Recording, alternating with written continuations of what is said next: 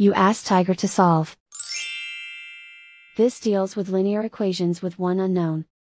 The final result is x equals negative 1. Let's solve it step by step. Simplify the expression. Simplify the arithmetic. Group all constants on the right side of the equation. Add 4 to both sides. Simplify the arithmetic.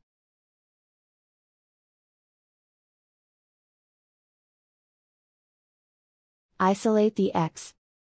Divide both sides by negative 4. Cancel out the negatives. Simplify the fraction. Move the negative sign from the denominator to the numerator. Simplify the fraction. And so the final result is x equals negative 1.